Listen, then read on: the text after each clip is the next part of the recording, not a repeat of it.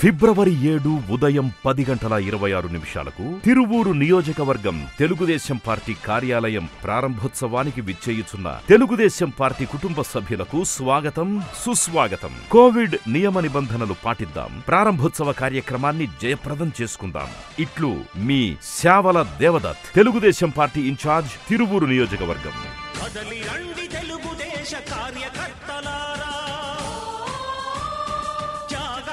వెనుదీయని దేశభక్తులారా.